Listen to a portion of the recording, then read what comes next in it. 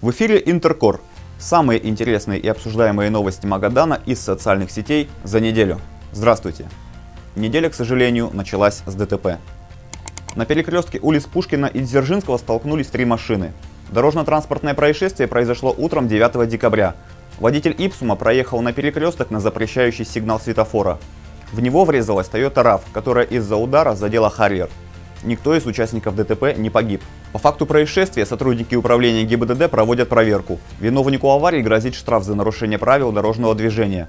Максимальное наказание – лишение водительских прав сроком до полугода. Автохамы продолжают свое шествие по магаданским проезжим частям. Среди замеченных нарушений парковка на тротуаре, на придворных территориях, а также на месте парковки для инвалидов. Пожаловаться на нарушителей в ГИБДД можно по телефону дежурной части 696 020. Также это можно сделать через сайт предъявив фотографию нарушения и время, когда оно произошло. Штраф за длительное пребывание транспорта в неположенном месте составляет 1500 рублей. Помните казахстанскую прорицательницу Веру Леон? Ту, что предсказывала аномально теплую зиму в этом году. Вот ее ролик с YouTube канала. Выпустила она его месяц назад. А, я уже давала видео о том, что зима, в общем-то, будет теплая.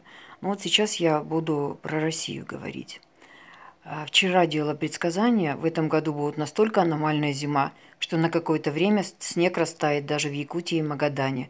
Там будет плюсовая погода. А вообще зима действительно будет аномальная и будет э, очень много дождей, причем ливней и ледяных ливней. И это не только по России, это, в общем-то, это видео я уже давала. Зима в самом разгаре. Картина полностью обратна тому, что говорила экстрасенс. Вера сделала предсказание не только для дальневосточных регионов, а на секундочку, для всего мира.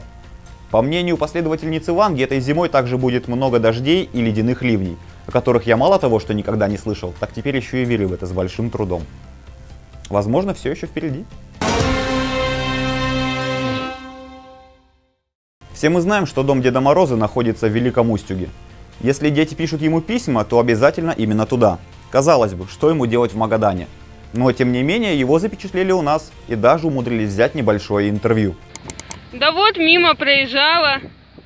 Смотрю, вы тут ходите. Ну да, да, зима наступает. Новый год на двору. А вы готовы к празднику? Да вот готовимся. И мы вот елочки украшаем. Смотрите, как Конечно, можно заподозрить, что это не настоящий Дед Мороз, судя, например, по его кроссовкам.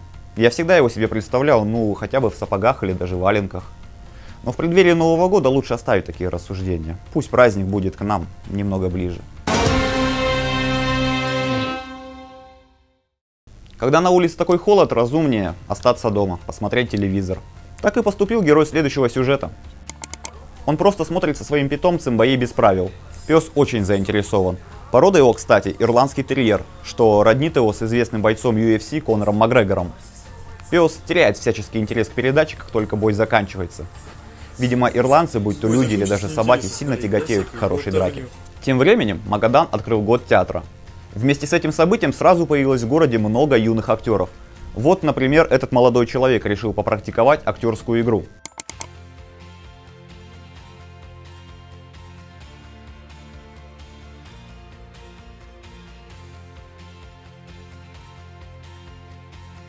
Год театра также ознаменовали и более красочные и радужные события в областном центре. 17 актеров Магаданского государственного музыкального и драматического театра показали финальный танец постановки World Street Dance Show. Премьера самого спектакля состоится в январе в драматическом театре. Думаю, зрелище будет зажигательное.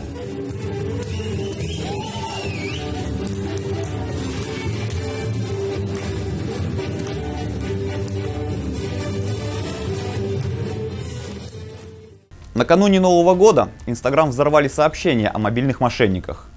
Несколько десятков магаданцев обманули при заказе дорогого элитного шампанского. Обещанного они, к сожалению, так и не получили. Тем не менее, горожане достаточно быстро поняли, что имеют дело с мошенниками, поэтому теперь собираются подавать коллективную жалобу в полицию.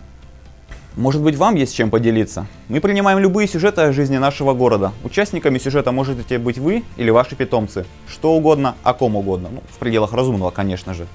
Мы расскажем о самом интересном. Все, что нужно, прислать свое видео в WhatsApp или Telegram на номер 8 994 250 57 73. На этом все. С вами был Алексей Кузнецов. До встречи в сети.